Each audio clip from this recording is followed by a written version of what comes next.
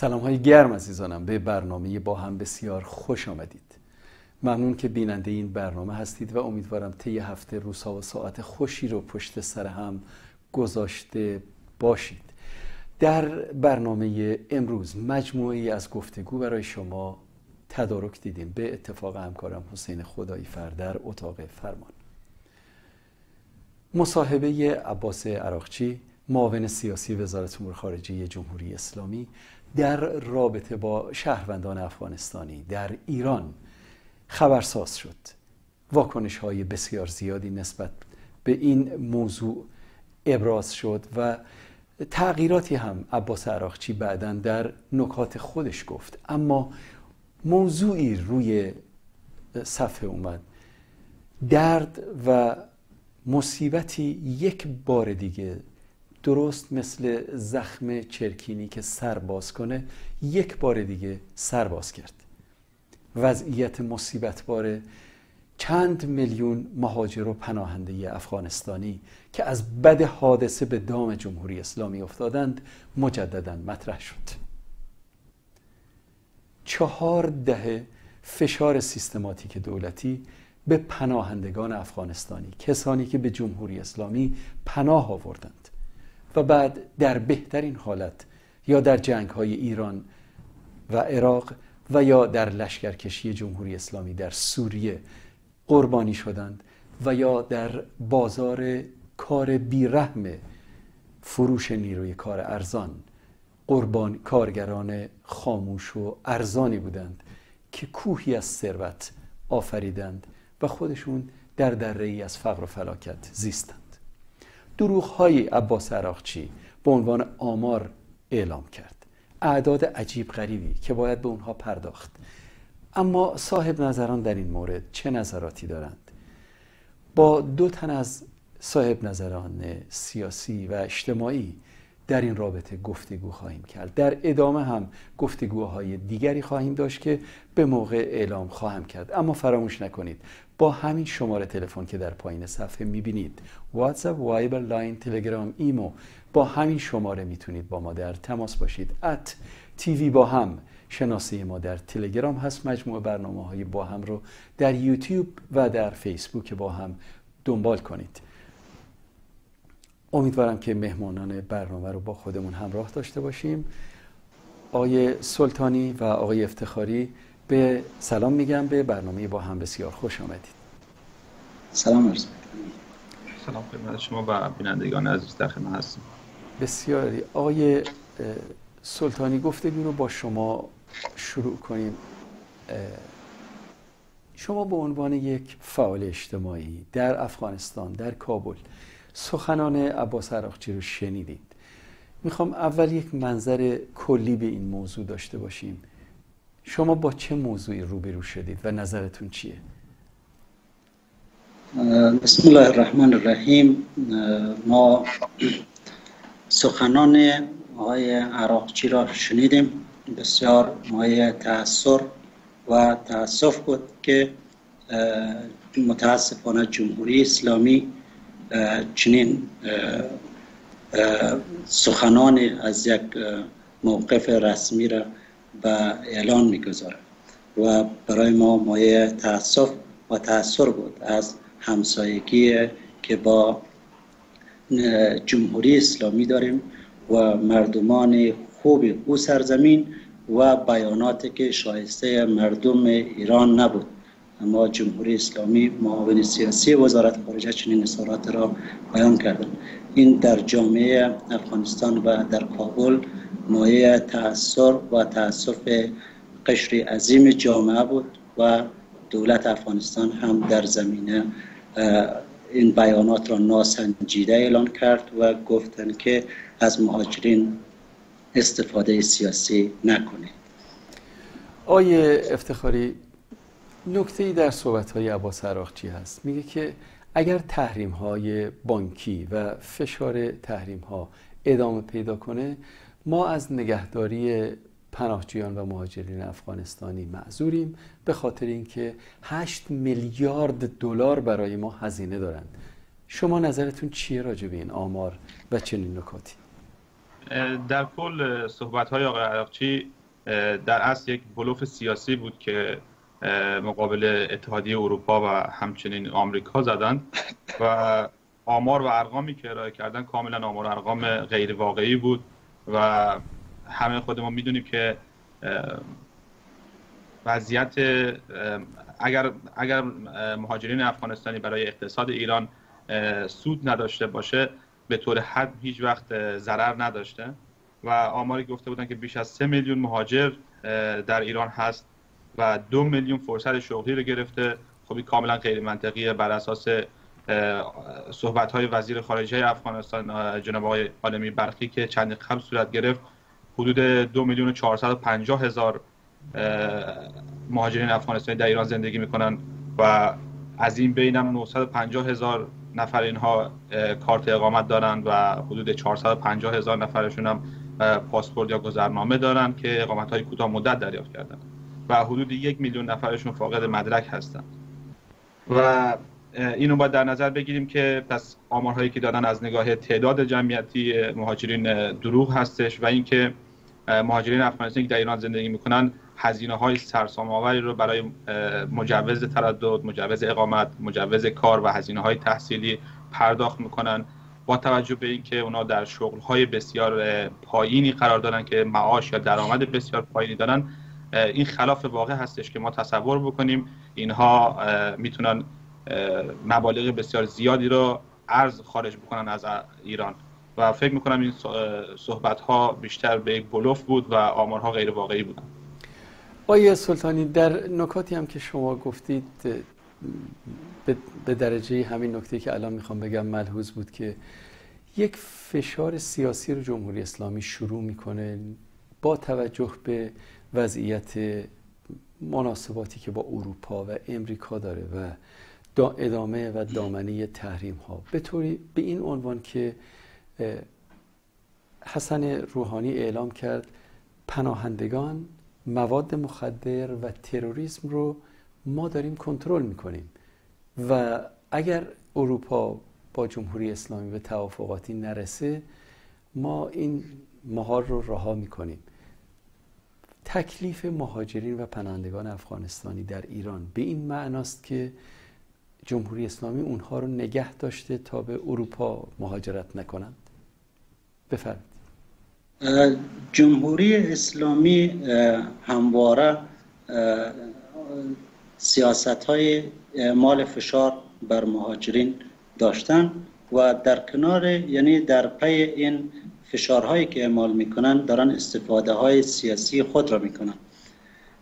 همه قسمی که در بیانات شما هم واضح بود جمهوری اسلامی قبلا هم با اعمال فشار به طریق اخراج از این مملکت و اینها سربازگیری کردن یعنی ما قبرستانی ها و گورهای از مهاجرین افغان را در سرزمین ایران داریم که قبلا هم در طوری که اشاره کردید در در جنگ ها از اینا کار گرفتن با این بیانات.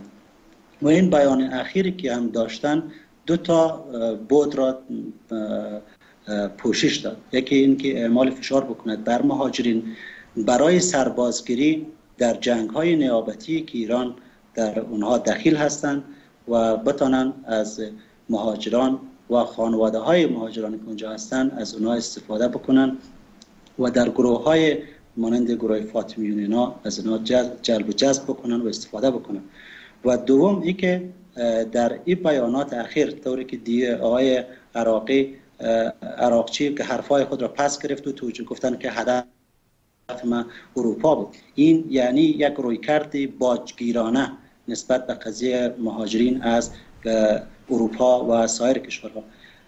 ایران جمهوری اسلامی فعلا هم بابت حضور مهاجران افغان در ایران از مراجع بین المللی هزینه دریافت می‌کنند یعنی از امتیاز می‌گیرند و این رویکرد جدیدی که اگر چنین حرفی را طوری که خودش خودش را تصحیح کرد اگر معنا و مفهومش این بوده باشد که ما داریم یک تهدیدی را که برای اروپا وجود داره این مهار می‌کنیم. یعنی ایران یک سیاست باجگیرانه برای یک جبران تحریم هایی هست که علیهشان وضع شده. یعنی ایران در واقع این با این بیان اخیر یک بار دیگر رزالت سیاسی در دستگاه جمهوری اسلامی را به نمایش گذاشت. متشکرم. آیه افتخاری جمهوری اسلامی مداوما مدعی شده که یکی از دلایل بیکاری میلیون ها کارگر در ایران حضور مهاجرین و پناهندگان افغانستانی هستند که با دستمزد پایینتر حاضرند کارهای شاقه بیشتری انجام بدن. در این حال وزارت کار جمهوری اسلامی یک لیست با چهل نوع کار شاقه معین. از قبیل زهکشی، کانالکشی، کندن چاه، فاضلاب، کار در دپاهای زباله و غیره که انواع کارهای شاق هستند رو به عنوان کار مجاز برای مهاجرین و پناهندگان افغانستانی تعریف کرد. آیا دلیل بیکاری میلیونی در ایران حضور اتباع خارجی به ویژه پناهجویان و مهاجرین افغانستانی است؟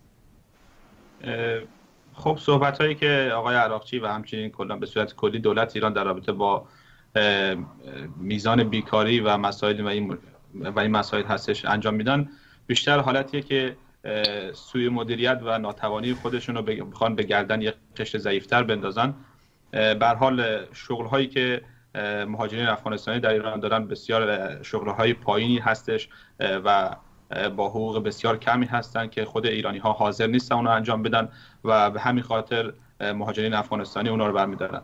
همونطوری که خود شما می‌دونید در ایران ما محدودیت انتخاب شغل داریم برای مهاجرین افغانستانی و اونها حق ندارن که شغل دلهای, دلخواه خودشون رو انتخاب بکنن.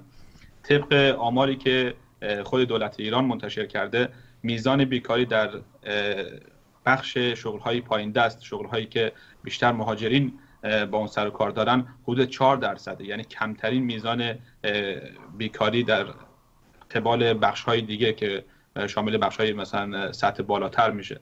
روی این حساب این صحبت ها میگم بیشتر فرافکنی هستش و اینکه دوست دارن مشکلات خودشون رو گردن مهاجرین بندازن و فکر می‌کنم این نادرست هستش. آیا سلطانی به واکنش دولت وحدت ملی نسبت به رفتار جمهوری اسلامی با مهاجرین افغانستانی دوگانه است. افرادی در این حکومت حتی لشکر فاطمیین رو تایید می‌کنن حتی با اون همراهی می‌کنن و ادامه کار فاطمیون در افغانستان رو هم به شکلی یا لاپوشانی می‌کنند یا علنی نمی‌کنند. در این حال انتقادات بسیار ضعیفی از جانب وزارت امور خارجه و غیر نسبت به رفتار جمهوری اسلامی با مهاجرین افغانستانی هست به ویژه اخراج اونها. نظر شما رو در این رابطه می‌خواستم. بعض کاستی ها و رفتار دو یا چندگانه متاسفانه از طرف جامعه افغانستان و دولت افغانستان وجود داره. و اما در این مورد دولت افغانستان در خصوص برخورد سیاسی با مهاجرین قاطع هست و قاطعانه استادگی خواهد کرد. آنچه آقای عراقچیز بیان کردن و بعد سخنانشان را هم پس و گرفتن در واقع از طرف وزارت مهاجرین افغانستان واکنش وجود داشت. منتها به این دلیل که این بیاناتشون در قالب یک طرح و برنامه و به طریق یک برنامه سیاسی روشن واضح نشده بود دولت افغانستان با این قضیه با احتیاط برخورد کرد. در صورتی که جمهوری اسلامی فشارهایش بیشتر از این را بر مهاجرین وارد بکنن و به استفاده جویی بیرحمانه از مهاجرین ادامه بدن حکومت وحدت ملی طبعا اقدامات را در همسویی با کشورهای جهان و در همکاری با متحدین افغانستان روی دست خواهد گرفت. و منابعی که فاطمیون را به نحوی توجیه می‌کنن به شکل غیر رسمی وابستگی های نسبت به ایران و ولایت فقیه دارد یعنی احزابی که در تأسیس شدن در یک دوره تاریخی مشخص و حمایت های را از اون طرف می داشته باشند اینها به خاطر همین منافع خود جدا از چارچوب رسمی دولت موضع دارند ولی دولت افغانستان در قبال استفاده سو از مهاجرین و استفاده سیاسی قطعا واکنش جدیتر و با برنامه تر خواهد داشت آقای افتخاری شما در این رابطه نظرتون چیه؟ در افغانستان خب مطمئنا نظرات متفاوتی وجود داره. دولت افغانستان و وزارت خارجه افغانستان همیشه از سوء استفاده مهاجرین افغانستانی چه به صورت نظامی چه به صورت سیاسی و اقتصادی واکنش های خوبی نشون دادن و از مهاجرین حمایت کردن. اما بودن حلقات وابسته که تا حد زیادی خب پیرو ایدولوژی ولایت فقیه و دولت ایران هستند و آنها به طور حد به صورت طبیعی خب حمایت می‌کنن اما دولت افغانستان و وزارت خارجه و همچنین وزارت مهاجرت مهاجرین افغانستان اینها موزگیری های خوبی رو انجام دادن. اما خب باز هم اونا محدودیت های زیادی دارن و همیشه سعی می‌کنن بسیار محتاطانه روابط خودشون رو با ایران پیش بگیرن و به طور حد نمی‌تونن خیلی بیش از حد هم به ایران فشار بیارن. خب اما یه موضوعی هست به نام اخراج مداوم مهاجرین و پناهندگان افغانستانی. این اخراج به چند شکل صورت می‌گیره. اولا بسیاری رو دستگیر می‌کنن رشوه می‌گیرن اخازی می‌کنن به اردوگاه های بسیار خطرناک مانند اسکرآباد ورامین و یا سفید سنگ مشهد که بسیار مشهور هستند فرستاده میشن و در اونجا به اصطلاح رد مرز میشن و اخراج میشن. آماری رو رسما کمیسیونی به نام کمیسیون مقابله با حضور غیرقانونی اتباع خارجی اعلام کرده که حیرت انگیزه 770 هزار نفر مهاجر پناهجوی افغانستانی طی 11 ماه از ایران اخراج شدند. اگر این رو به روز و ساعت تقسیم کنیم تقریبا در میاد ساعتی 90 نفر. و بسیار حیرت انگیز این رقم. دولت افغانستان نسبت به این اخراج ها چه واکنشی نشون میده؟ آیه سلطانی بفرمید اخراج مهاجران از ایران همواره وجود داشته و وجود خواهد داشت. اما بیاناتی که اخیرا معاون وزیر خارجه ایران داشت اینطور وانمود می‌کردن. انگار این برنامه جدید روی دست گرفته میشه در حالی که این برنامه همواره بوده و خواهد بود. دولت افغانستان وزارت مهاجرین سعی کرده که یعنی احتیاط لازم را در همسایه‌داری با مردم ایران لحاظ بکنه. یعنی بحث جمهوری اسلامی با بحث مردم ایران دو تا بحث کاملا متفاوت است. مردم افغانستان و مهاجرین و دولت افغانستان ارادتمندی خاص نسبت به مردمان ایران داشته و دارند اما بحث با جمهوری اسلامی محتاطانه تر برخورد می‌کنن در بسا قضایا و دل به خاطر رعایت اصل همکاری های منطقه‌ای و داشتن رابطه نیک با دولت همسایه در بس موارد از تخلفاتی که نظام جمهوری دارن و اعمال یا رفتارهای غیر انسانی که در اخراج ماجری دارن یعنی یک به نحو اغماز و چشم پوشی می‌کنن. یعنی در این حوزه این چشم پوشی و اغماز دولت افغانستان محسوس بوده و ظاهرا دولت افغانستان در پی داشتن یک رابطه مسالمت آمیزتری هست. منتها رویه جمهوری اسلامی و نظام حاکم با مهاجرین واقعا رویه و روی کرده حتی غیر انسانی بوده و متاسفانه جریان داره آیه افتخاری طبق بخشنامه هایی که فرمانداری ها استانداری و وزارت کشور جمهوری اسلامی دارن اقامت مهاجرین و پناهندگان افغانستانی در 17 استان و 36 شهر ممنوعه. اما بیکاری در همین شهرها بیداد می‌کنه و طبعا نمیشه به مهاجرین و پناهندگان افغانستانی اونها رو نسبت داد. نسبت به این اجازه عدم اقامت چه واکنشی وجود داره؟ بفرمایید. خب مسلما همه مهاجرین افغانستانی که در ایران هستند از این محدودیت ها شاکیان و موافق با این محدودیت ها نیستند و فقط در شهرهای محدودی مهاجرین افغانستانی می‌تونن اقامت داشته باشن و ساکن باشن. خب خود این محدودیت مشکلات زیادی رو برای همه فراهم می‌کنه و به نوعی باعث میشه که در مهاجرین افغانستانی در مناطق خاصی متراکم تر جمع بشن. و اگر در شهرهای مختلف اینا حق سکونت داشته باشن خب اون حضوری که فعلا شما در سطح شهر تهران یا شهر قم یا مشهد می‌بینید که به صورت تعداد زیاد و انبوه دیده میشه اون بسیار کمتر و تراکم پایینتری رو خواهد داشت.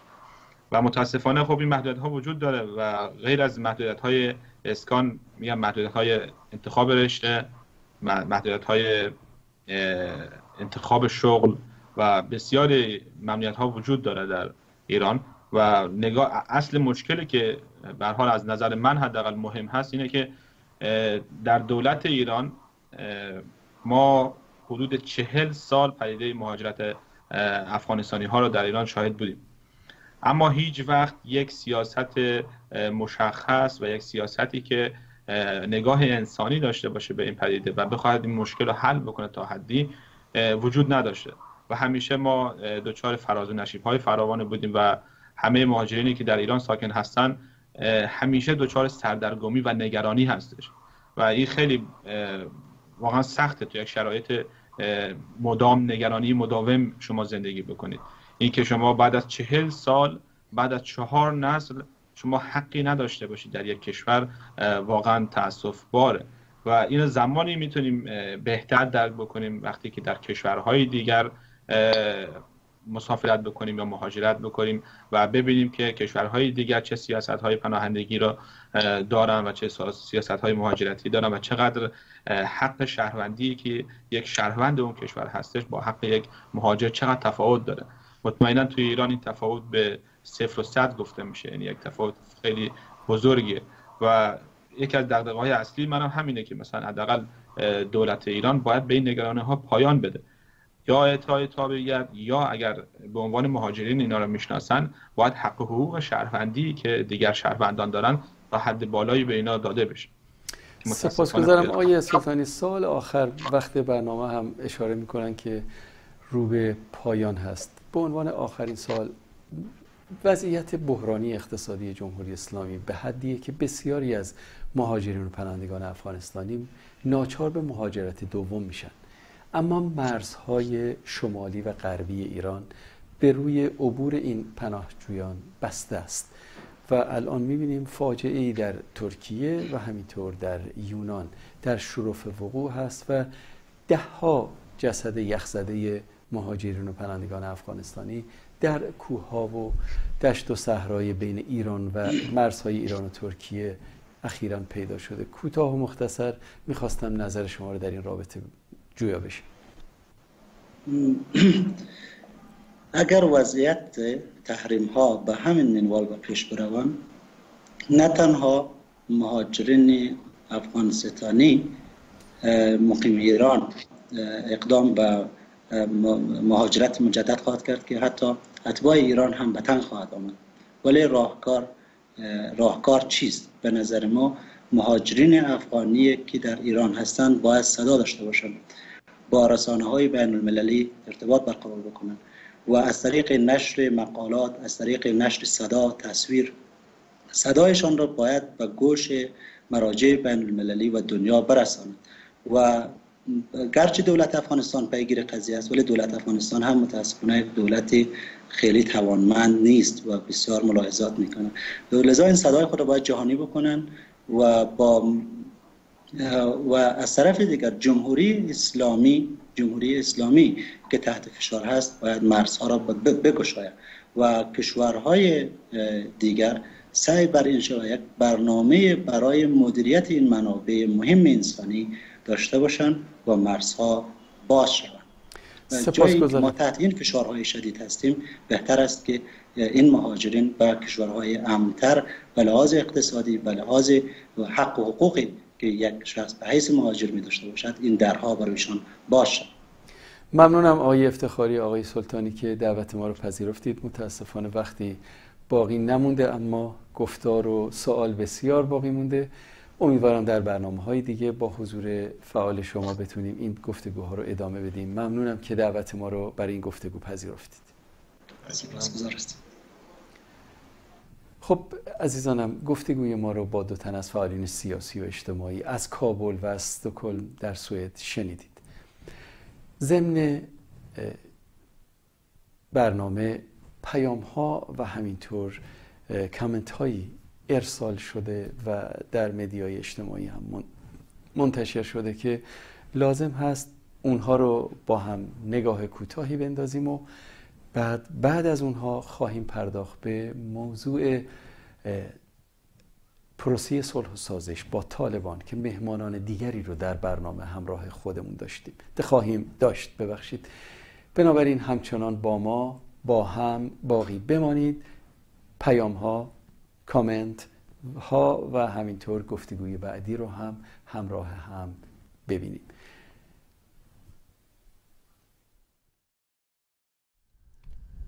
سلام و عرض ادب خدمت هر دو ملت عزیز. دوستام من یه افغانیم و سخنان عراقچی رو اصلا اهمیت نمیدم. چند وقت تو خاک ایران زندگی کردم و با ریختاندن عرق پیشانی و زخمهای کف دست لخمنان برای خودم و خانوادم تأمین کردم و از هر فرد و ملت ایرانی ممنونم بابت اخلاق و رویه نیک که با من و خانواده هم داشتن. در ضمن از دوستان افغانی می‌خواهم هر فرد ایرانی را در آینه عراقچی نبینید لطفا. سید حسام رضوی کارشناس مسائل سیاسی در یادداشت ارسالی به خبرگزاری تصنیم این چنین می نویسد بیشک بر آقای عراقچی پوشیده نیست که حضور سه میلیونی مهاجران افغانستانی خود به خود نمی تواند منجر به اشغال دو میلیون شغل شود کما اینکه کودکان، نوجوانان، زنان و دختران افغانستانی مهاجر در ایران به طبع اشغال کننده فرصت شغلی نیستند.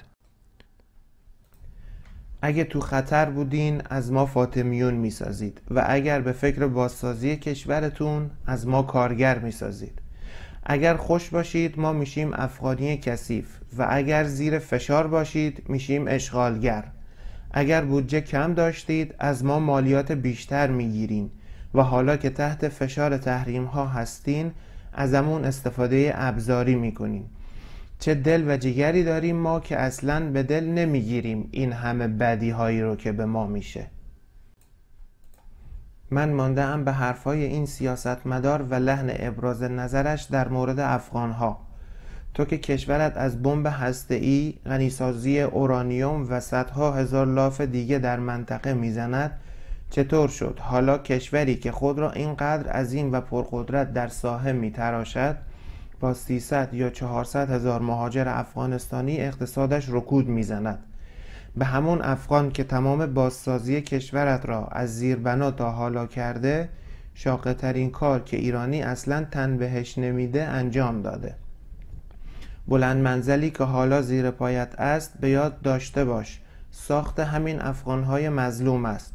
حالا با وجود همه این تحریم و مشکلات و گرانی که در کشورت است همان افغان مظلوم دوشادوش تو آنجا زیسته و هنوز کار می کند هنوزم تو را تنها نگذاشته و با تو یک جا همه مشکلات را متحمل می شود او کار می کند از پنجه خود پیدا می کند یکی نیست به تو بفهماند که افغان کشورت را آباد کرده. شکوفایی جاده هایت مزارع و باغهایت به دست افغان ها صورت گرفته. این را بفهم. خانه از پی ویران است. اگر با اخراج مهاجران اقتصاد کشور درست میشه بسم الله.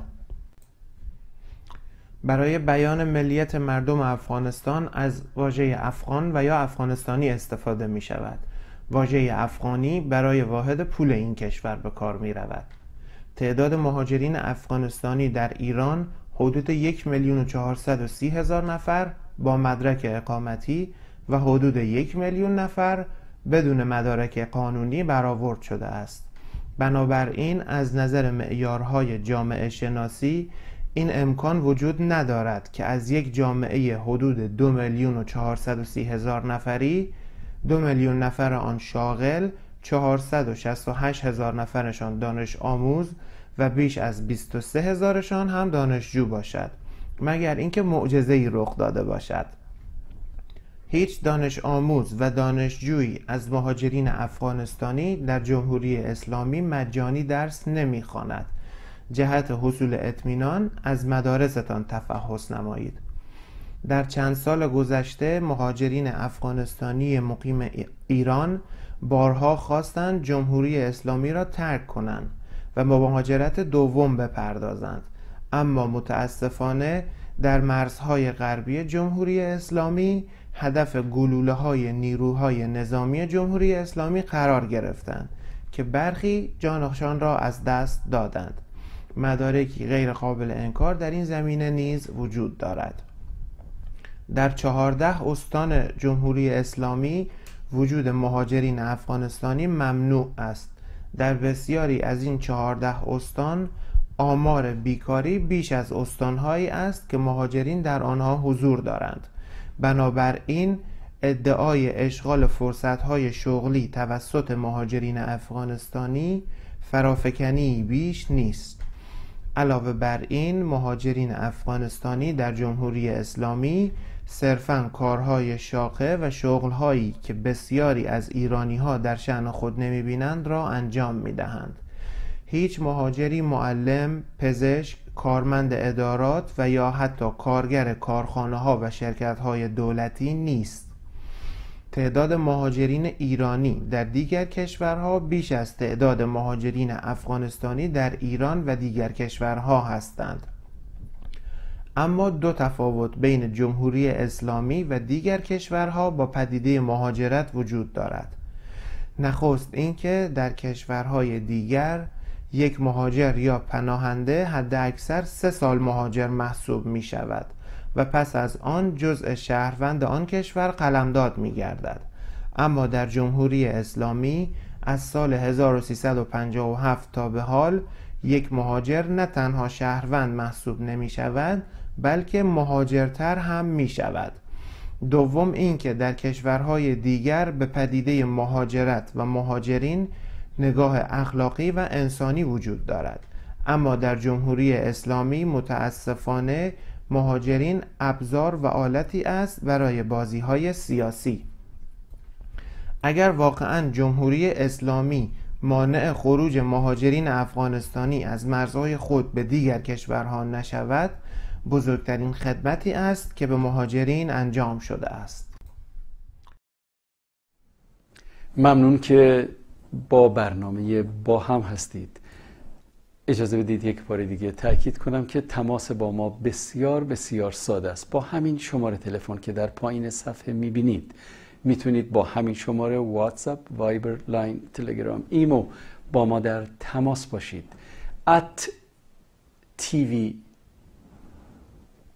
at tv با هم شناسه ما در تلگرام هست. از این طریق هم می‌تونید با ما در تماس باشید. در فیسبوک با هم و همینطور مجموع برنامه های با هم رو می‌تونید در یوتیوب هم دنبال کنید. همینطور که در جریان هستید طی هفته های گذشته برنامه های ویژه ای رو اختصاص دادیم به آن چیزی که بر آن پروسه صلح و سازش با طالبان نام گذاشتند. طی این برنامه ها با فعالین سیاسی، کارشناسان و همینطور صاحب نظران در عرصه های مختلف گفتگو کردیم. اما این بار از زاویه دیگه ای به مسئله پرداخته خواهد شد. نسل جدیدی که یا طالبان رو ندیده یا طالبان رو تجربه نکرده و یا مطلقا خودش رو نه به احزاب جهادی نه به تنظیمات جهادی و حکومت وحدت ملی و غیره گره نزده. خواسته ها و مطالبات دیگه ای داره. اما این نسل همچنان قربانی سیاست ها جنگ ها فرارها گرسنگی ها بیکاری ها و ناامنی هایی است که نسل های پیش از آن احزاب جهادی طالبان و غیره ایجاد کردند. با دو تن از فعالین سیاسی جوان گفتگو داریم. دوستان رو به گفتگو دعوت کردیم. سلام های گرم و صمیمانه براتون. آقای کریم انتظار و همینطور قربان علی محمدی. خیلی خوش آمدید. سپاس. بنده هم سلام عرض می‌کنم خدمت شما آقای بهاری و همچنین مهمان برنامه آقای انتظار و تمام بینندگان برنامه با هم در سراسر جهان. ممنونم متشکرم. اجازه بدید اولین سوال رو مطرح کنم و اون به صورت کلی چه چیزی الان در افغانستان در جریانه و چرا اسمون رو صلح گذاشتن؟ بازگرداندن حیولای تروریستی به قدرت حکومتی چرا اسمش صلح هست؟ از اینجا شروع کنیم آیه انتظار. شما صحنه سیاسی رو چه می‌بینید؟ به عنوان یکی از نسلهای جدید که طالبان رو نه دیده نه تجربه کرده و نه می‌دونه در اون دوران چه بر سر مردم اومده خود شاهد نبوده. بفرمایید. جهان سپاس از شما جناب سیامک. درود میفرستم به شما و مهمان برنامه شما و همچنین به تمام بیننده های تلویزیون شما. نخست سپاس دارم شما که در برنامه با موضوع صلح که یک موضوع خیلی مهم است در کل جهان در خاور میانه و خصوصا به ویژه افغانستان. ببینید هر چیزی ما یک پیش مقدمه باید داشته باشیم. به هر چیزی ما یک پیش زمینه داریم. هر چیزی یک یک مسیر تدریجی خود را باید طی بکنیم. که متاسفانه در صلح افغانستان در آغاز که فکر کنید این یک پیش زمینه بگونه تدریجی متاسفانه پیش نرفته یعنی شما ببینید راه راه صد شبه رو ما نمی‌تونیم در یک شب طی بکنیم. یا بانوان نمونه جامعه و یا ما در, در نخست باید ببینیم که جامعه آیا پذیریش همین موضوع رو داره نداره مثلا از نگاه فرهنگی یا است نیست. آیا طرف های درگیر که ها هن؟ و چی بگیراون یا چی پس منظری نسبت برای دیگر دارن؟ با توجه به پروسه ای که فعلا در افغانستان جریان داره یک پروسه خیلی ناکام هست و این پروسه همونطور که ما در گذشته هم دیدیم. خب ما تجربه رو داریم. دو سال پیش یا کنیم سال پیش آقای گلبدین حکمتیار به عنوان یک رهبر گروه یک گروه تروریستی بزرگ که مثلا ده ها خانواده را با انفجار و انتحار در شهر کابل و شهرهای دیگر افغانستان به قتل رساندن خب با هزینه بزرگ حکومت افغانستان که راجع به او کرد اندکترین تاثیر ما درباره امنیت کشور نداشت. خب پس بعد از اون وقتی گروه طالبان مطرح میشه ببینید به نحوی حکومت افغانستان و سیاسیون سیاسیون افغانستان به نحوی می‌خواید امتیاز بده. با عنوان نمونه. شما گروه طالبان امروز نمونه ما شما که اینجا صحبت می‌کنیم امروز یک تیپی از گروه طالبان را تحت عنوان پروسه صلح می‌خواین مثلا خب یک امتیاز بزرگ را تقدیم کنند. پس فردای روز فردای روز گروه دیگری شاید تحت نام دیگری بیاین و وضعیت وضعیت خرابتر از این بکنن. پس بنابراین ما با یک گروه طرف هستیم و با یک دو تیم با دو جناح طرف هستیم. اینجا متاسفانه که به هر نوع امروز امتیاز میدیم. فردا وضعیت بدتر از امروز میشه. یعنی در کل اگر ما بخوایم سخن خود با یک جمله اینجا خلاصه بکنم ای که یک پروسه ناکام هست و ما با طرفی که می‌خوایم صلح کنیم اونا منطق صلح را نداره مثلا گروه گروه توریستی که امروز مثلا تا روز نفر کشته تا روز مثلا شاهد انتحار انتجار بودیم تا روز شاهد حمله در میدان وردک بودیم که یک پسته ارتش ملی رو کلا محاصره کردن و از بین بردن. مثلا دفتری کمک های خارجی را در کابل دیروز به روز زدن با ببینید شما وقتی که در یک پروسه ما قرار می‌گیریم واقعا باید یک پیش شرطی باید داشته باشیم وقتی طالبان چراغ سبز اگر نشان میده خب پس اینا معنایش چی است که از یک طرف این چراغ سبز نشان میده و از این طرف زور آزمایی می‌کنیم و قدرت نمایی می‌کنیم. و از سوی دیگر متاسفانه اجازه بدید آقای انتظار اجازه بدید همین نکات رم باید فرصت رم غنیمت شمرد. از آقای محمدی هم سوال کنم. آقای قربان علی محمدی شما نگاهتون مختصر بفرمایید. راجع به اون چیزی که بر اون پروسه صلح و سازش در افغانستان نامگذارده شده چیه؟ ببینید عملا طبق شناختی که من از جانب دولت افغانستان و جامعه افغانستان دارم و وضعیت پروسه صلح طرف مذاکره با طالبان آمریکا هست و دولت افغانستان مسلمان آنچنان تأثیری نداره. و همطور که میدین آقای خدیبزاد چندین جلسه بوده و یک دوره از جلساتشون با طالبان و مذاکراتشون در قطر به اتمام رسیده و هنوز هم روی نتیجه مطلوبی نرسیده است.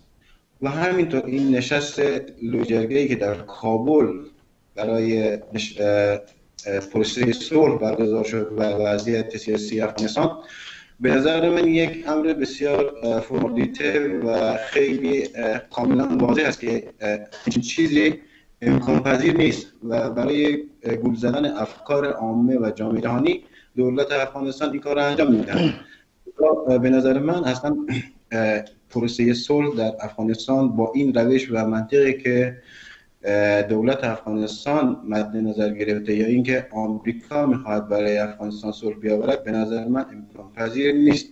چون گروه طالبان یک گروهی است که از چندین کشور همسایه افغانستان و به عربستان و کشورهای دخیل حمایت می شود پس با یک قدرت بسیار قوی آنها در افغانستان حضور دارد و در طی سالهای میادین هیچ موقع هم آنها کم نشدن یعنی با اینکه تعداد زیادی از آنها کشته شدن در جنگ ها کم نشدن و همچنان از لحاظ مالی تجهیزات جنگی امکانات خیلی بالایی نسبت به ارتش و نیروهای نظامی افغانستان دارند. به نظر من حذف طالبان از صحنه سیاسی افغانستان نابودی کامل آنها از افغانستان است و این چطور امکان پذیر است؟ به نظر من اگر بخوایم که یک گروه تروریستی یا مخالف از یک کشور اخراج کنیم باید ببینیم که اونا چی دارن. به نظر من چیزی که طالبان در افغانستان داره ایدئولوژی اسلام برای تندرو هست که با این ایدئولوژی و با استفاده از شهروندان افغانستان سعی می‌کنن نیرو برای خودشون جذب کنن اگر این ایدئولوژی و این افکار آنها از افغانستان نابود شود به نظر من ما به صلح زودتر خواهیم رسید. آیا قربان علی صدای شما مشکل فنی داره و مرتب قطع و وصل میشه. احتمالا اشکالی از میکروفون باشه یا به حال یک خشخشی داره که کمی مشکل می‌کنه. اجازه بدید ادامه همین موضوع رو برگردیم و از آقای کریم انتظار بپرسیم. آقای انتظار در صحبت های شما و آقای محمدی هم یک نکته مشترک بود و اینکه طالبان یک گروه صلح پذیر نیست و اساسا برای صلح ایجاد نشده. با چنین مضمونی به طور کلی شما صحبت کردید. اما یک طرف این جنگ خونین و قربانی های بیشمار اون مردم افغانستان هستند. آیا حکومت وحدت ملی و یا زلمه خلیلزاد و یا کنفرانس هایی که در مسکو اسلام آباد و دوحه برگزار شده آیا اینها مردم افغانستان رو نمایندگی می‌کنه؟ بفرمایید. سپاس. ببینید جناب سیامک قضیه اصلا فرق می‌کنه. ما از یک نگاه با آقای قربان علی موافق نیستم که ایشان مثلا گروه طالبان را کلا وابسته بکنه به کشورهای بیرونی یا کشورهای همسایه. ببینید اصلا مشکل جای دیگر است. من فکر می‌کنم طالبان در در سال 2001 یا 2002 کاملا از افغانستان محو شده بود. و متاسفانه با سیاست های غلط و اشتباهی که مثلا جناب کرزی او را متقبل شد و به تعقیب آقای خلیلزاد و آقای اکنون اشرف غنی همون سیاست غلط را دنبال می‌کنه ایه که اینها احساس می‌کنه طالبان را به عنوان یک گروه یک ابزار فشار نگه داره. به عنوان یک ابزار فشار قبلا نگه داره. که متاسفانه نه تنها ضربه به کل به یک گروه خاص میشه که ضربه به کل افغانستان می‌زنه. ما من به عنوان یک نسلی مثلا خب بعد از درگیری های داخلی که خب در از خانواده های ما مثلا قربانی زیاد گرفته طالبان. ببینین آرزوی هر شهروند در هر نقطه دنیا بخصوص افغانستان که جنگ طولانی را پشت سر گذاشته صلح است اگر ما به صلح برسیم خب که همه یه صلح می‌خواه بله صلح با کی؟ صلح که با به عنوان نمونه میگم. من یک نفر هر روز از دب روی می‌زنم می‌کشه و ما او را حتی نمی‌خوایم تروریست یاد کنیم. او را برادر ناراضی یاد می‌کنیم. مثلا یا گروه مخالف یاد می‌کنیم. ببین وقت یک گروه مخالف با یک گروه توریست خیلی فرق داره. مثلا امروز شما ببینید طالبان در هر گوشه افغانستان. حتی یک مسافر بیگناهی که مثلا هیچ ربطی به حکومت هم نداره به سیاست هم نداره او رو طالبان در راه می‌گیره سر می‌بره. که نمونه شما زیاد داریم که در این راستا متاسفانه هزارها بیشتر قربانی موضوع میشه. شما از بحث مثلا کمیسیون ها یاد کردید کمیسیون های مسکو و دوها و اینجا. ببینید در همین جا هم بحثی که سیاسیون افغانستان متاسفانه حکومت افغانستان حکومت افغانستان و سیاسیون افغانستان. ببین اصلا قضیه رو بخیر داشتن دار خلق یا از پیشون گت شده. ببین هدف هدف از یا فقط امتیازگیری است. یعنی ما به این وضعیت رسیدیم که مردم افغانستان سیاسیون افغانستان در این تلاش است کی بیشتر امتیاز می‌گیره کی بیشتر خود نزدیکتر به طالب نشان بده. یک گروه یک گروه خدازده ویرانگر چطور می‌تونه؟ مثلا ما امروز سیاسیون افغانستان میره مثلا یک طرف حکومت ببینید همین با توجه به اینکه آقای کی هم یاد کرد از موضوع روی جرگه. می‌خواد مشروعیت بگیره که در نزد طالبان خود به نحوی خوبتر نشان بده. از طرف دیگر سیاسیون دیگه ما با رهبری آقای کرزی و آقای احمر اینا میره مثلا با آقای محقق و بقیه خود را نزدیکتر به طالب نشان بده که ما مثلا نزدیک به شما هستیم و می‌خوایم با شما صلح بکنیم. ببینید اصلا ما تو فکر می‌کنم که وقتی مردم افغانستان اصلا در ابتدا ما باید یک یک نظرسنجی کلی کنیم. با لوی جرگه فرمالیتا یک دو قرن قبل ما نمی‌تونیم مثلا موضوع نسل امروز را موضوع نسل امروز را مطرح کنیم اصلا. اجازه بدید آقای انتظار. همین موضوع لوی جرگه رو به نحوی آقای قربان علی محمدی هم اشاره کردن. از خود ایشون بشنویم. آقای قربان علی محمدی لوی جرگه ای که فراخوان داده شده بود. اگر من اشتباه نکنم این پنجمین لوی جرگه مشورتی است که توسط بعد از فروپاشی طالبان برگزار میشه. آیا لوی جرگه مردم افغانستان رو نمایندگی می‌کنه یا نه؟ یا به هر حال چرا نمایندگی نمی‌کنه اگر پاسخ شما رو بشنویم؟ بله با توجه به اینکه خب لوجیگر رو من بررسی کردم طی هفته گذشته که برگزار شده بود از لحاظ اینکه حضور مردم و حضور زنان در اونجا وجود داشته باشه بله یک حضور فیزیکی مردم در آنجا بودن. و همینطور نمایندگان اقشار مختلف مردمی از جمله معلمان پزشکان جانبازان و دانشجویان اساتید تمام تیپ ها و کیف های مردمی در اونجا حضور داشتن اما اون طرف قضیه یک سری از سیاسیون اصلی که در قدرت هستن این را تحریم کرده بودن. به طور مثال آقای دکتر عبدالله که خب به طوری ایشون یک یک نماینده مردم هستن ایشون به عنوان نفر دوم یا نفر دوم مملکت. ایشون قایب بودن. یا محمد محقق رهبر حزب وحدت قایب بودن. و همینطور عطا محمد نور که خیلی هم هوادار زیادی در افغانستان داره آقای محمدی اجازه بدید من وسط حرفتون بیام. قایبی و یا اختلافات درونی رو من سوال نکردم. آیا لوی جرگه مردم افغانستان رو نمایندگی می‌کنه یا نه؟ به هر, به هر شکل به چه دلیل؟ نمایندگی می‌کنه یا نمایندگی نمی‌کنه؟ ببینید در افغانستان تصامیم مهم که نیاز به رضایت تمام اقشار جامعه داشته باشه بر اساس همین لوی جرگه برگزار می شود یعنی این خودش یک فراخان جمعی هست و نظرسنجی جمعی است که در لوی جرگه انجام میشه. اگر به نه برگزار شود به نظر من نمایندگی می‌کنم. ببخشید اجازه بفرمایید. آقای انتظار شما اجازه بفرمایید. لوی جرگه رو برابر رفراندوم یا نظر به اصطلاح نظرسنجی عمومی می‌گیرن آقای قربان علی محمدی. شما چه فکر می‌کنید آقای انتظار؟ ببینید ما در اینجا کلا مخالف آقای قربان علی هستم. ببینید ما در قرن 21 زندگی می‌کنیم.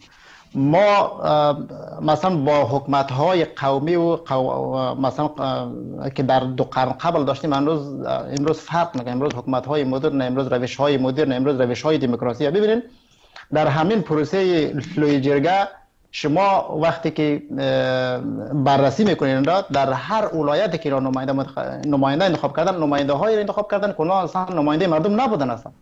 ببین ما چگونه می‌تونیم با مثلا با رویش 200 سال قبل امروز ببینیم مسئله اون مسئله رو پیاده بکنیم. ببین از اساس یک یک یک پروسه ناکام هست یک پروسه حکمت های گذشته بوده که از طرف بخط مشروعیت بگیره و دمو برنامه خود روی مردم پیاده بکنه. و همچنان ما همونطور گفتیم با ابزار 200 سال پیش ما نمی‌تونیم امروز کار خود پیش بریم. با عنوان نمونه امروز ما شما فکر کن از طریق داریم اسکایپ با جهان صحبت می‌کنیم با شما صحبت می‌کنیم دیگر می‌بینیم. آیا در دو سال قبل این چیز رو می‌تونستیم ما یک کار بکنیم؟ نمی‌تونستیم کار پس با یک برنامه یا یک برنامه که 200 سال قبل بود یک برنامه کلا ناکام و یک برنامه کلا ابزاری یعنی ما نمی‌تونیم اهداف مردم رو پیاده کنیم. این آیا انتظار اجازه همینجا یک پروسه کاملا ابزاری است که حکومت ها می‌خواد از طریق از امو برنامه های خود که می‌خواد اون رو پیاده بکنه. بسیار عالی. آیه قربان علی فردی رو انتصاب کردن به ریاست لوی جرگه که یک پیشینه خونین جنایی داره و اون رو همیشه با جنایتکاران جنگی طالبان مقایسه کردن. رسول سیاف. بله رسول سیاف کیو نمایندگی می‌کنه؟ مردم افغانستان رو زنان رو کودکان رو جوانان رو؟ نماینده چه کسیه؟ در ریاست لویجرگ بفرمایید. ببینید همونطور که خودتان در شناخت کافی از رسول سیار در افغانستان دارید و شناختی من دارم نسبت به این فرد و زندگی فردی او که در گذشته جزئی از جنگ سالاران افغانستان محسوب می شود و همینطور از نگاه سازمان ملل او یک مجرم بین المللی شناخته شده است. او او امروزه آمده و نمایندگی به قول مردم افغانستان به قول همین جرگه مشورتی ریاست رو به عهده گرفتن ولی در واقع او نمایندگی هیچ کس نیست به نظر من و او به جز اینکه قدرت رو حفظ کنه و اینکه بگه که من هستم در این کشور و در این مملکت و با, با استفاده از رابطه های سیاسی که بین سیاسیون افغانستان شده خودش را ریاست جرگه یا ریاست این جرگه مشورتی منصوب کرده. ولی از نگاه مردم افغانستان ما او را به عنوان نماینده نمی‌شناسیم. بسیار عالی. آیا انتظار ما فرصت بسیار کمی داریم؟ اگر موافق باشید به هر کدوم از شما دوستان حدود دو دقیقه واقعا دو دقیقه به معنی 120 ثانیه وقت می‌رسه که با هم صحبت بکنیم. ادامه پروسه صلح و سازش با طالبان به چه منجر خواهد شد؟ بفرمایید آقای انتظار. ببینید من در ابتدای سخنهای خودم گفتم که این پروسه یک پروسه ناکام هست از ابتدایش هم ناکام بود و گروه طالبان یک گروه صلحپذیر نیست گروه تروریست است. امروز اگر یک گروه بذاره تحت عنوان صلح برن فردا گروه دیگرش خواهد خست و با کشتارهای به شدت از این خواهد انجامید ببینید امروز من فکر می‌کنم که گروه طالبان را خواهد برداشت و گروه دیگر را تحت نام های مختلف خواهد آورد با عنوان یک ابزار فشار. و این پروسه یک پروسه کلا ناکام هست و مردم افغانستان با این پروسه به صلح نخواهد رسید. فقط همین. ممنونم. آیه محمدی نظر شما چی؟ به نظر من آمریکا برای افغانستان صلح آوردن نمی‌تواند.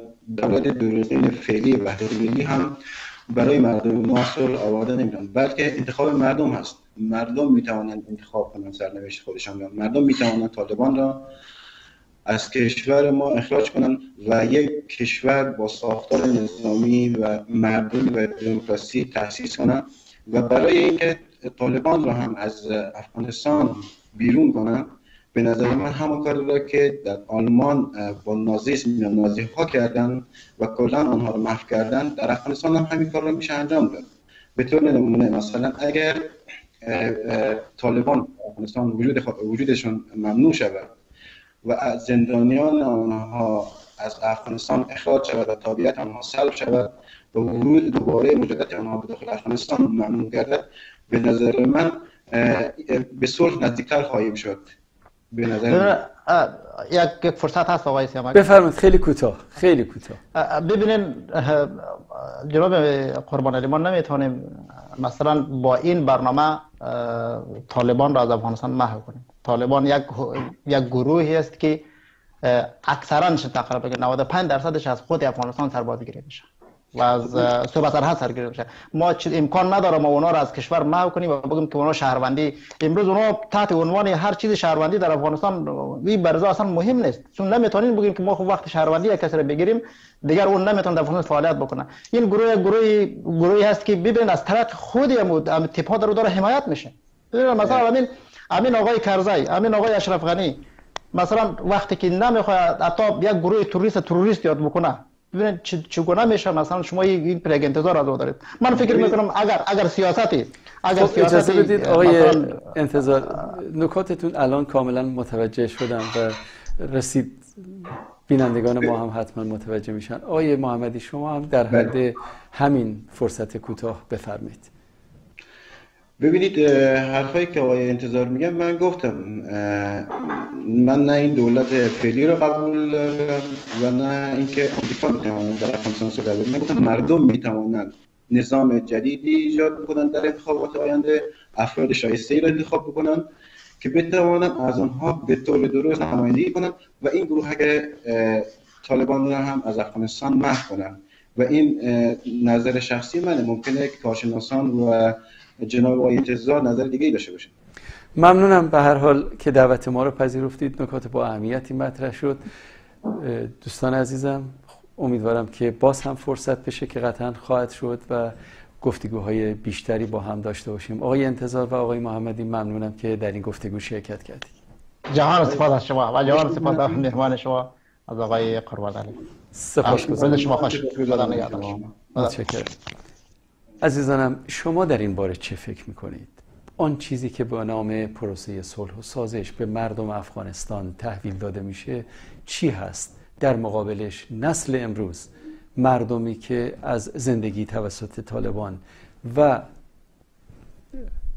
نمونه های دیگر اون احزاب جهادی و طالبانی های با نام های دیگه روبرو هستند چه باید بکنن با ما با همین شماره تلفنی که در پایین صفحه است تماس بگیرید.